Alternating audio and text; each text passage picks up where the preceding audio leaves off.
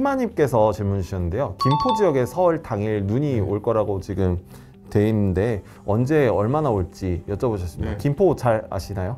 네, 김포 예, 잘 알고 있습니다. 예, 2월 서울이나 김포나 사실은 수- 거리 차이가 거의 없습니다. 서울하고 서쪽에 이제 가장 서쪽에 붙어 있는 지역이 김포이기도 한데 그래서 서울 가지고도 얘기가 가능한데요. 역시 서울보다는 조금 이제 한 시간 정도 빠르게 강수가 시작됩니다.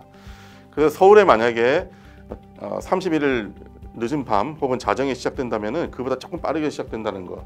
그래서 김포 같은 경우에는 31일 늦은 밤부터 시작될 가능성이 상당히 높고요. 예, 늦- 강수량도 서울과 크게 차이는 없을 것으로 보여집니다. 왜냐하면 이번에 들어오는 강수 시스템은 어떤 지형에 부딪히는 효과도 당연히 있긴 하겠지만은 이미 해상에서 만들어져 있는 강수 구름대들이 내륙으로 들어오는 그런 형태이기 때문에 어, 김포도 역시 비 강수가 내릴 것으로 이제 보여지는데 강수량도 한 3mm 내외 정도 될 것으로 예상이 되고요.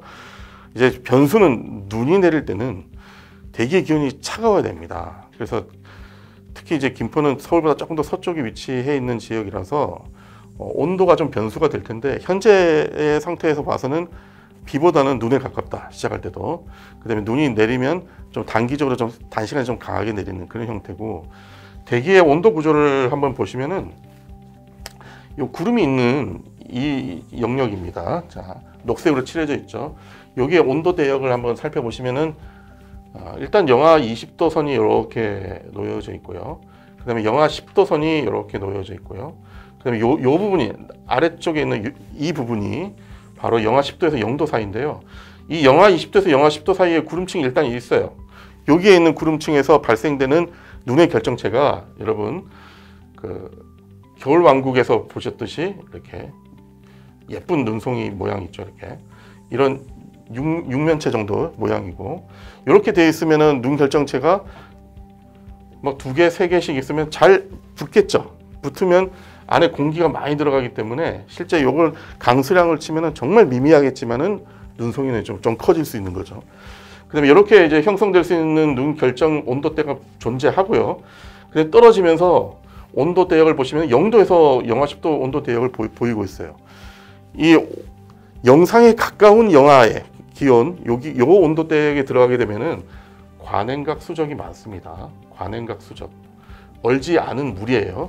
그다음에 이 얼지 않은 물은 어떤 역할을 하냐면 접착체 역할을 합니다.